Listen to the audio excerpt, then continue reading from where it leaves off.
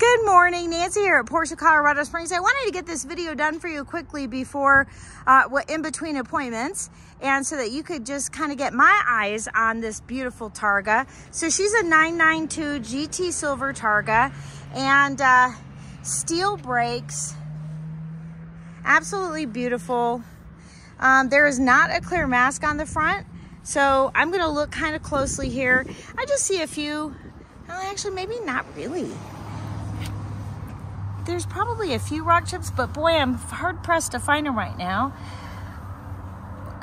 I don't even really feel any scraping underneath here. Let's take a peek. See if I'm just not feeling it.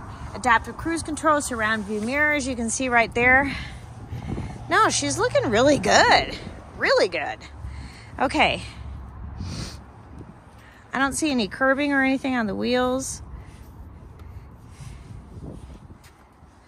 Black Targa bar, black Targa top.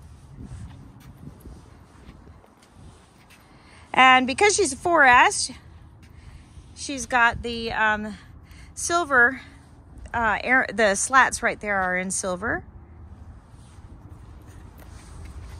Black and black, high gloss black, looks great. All right, let's take a peek at the inside. How about we unlock it? We'll unlock it first. How about that?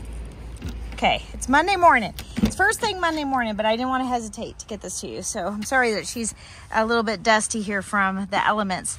Um, all right, so we've got the standard inlays, but um, extended leather on the interior, really beautiful with the deviated stitching.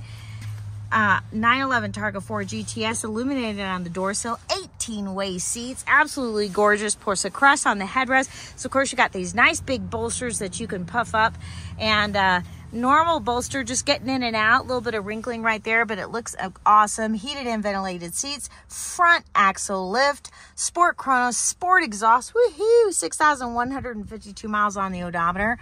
Absolutely beautiful. Let's take a little peek at the back seats. Put that back up. Oh, she looks great. I mean, I don't see anywhere back there. She looks awesome. All right. Let's go back around to the front. Over on this side.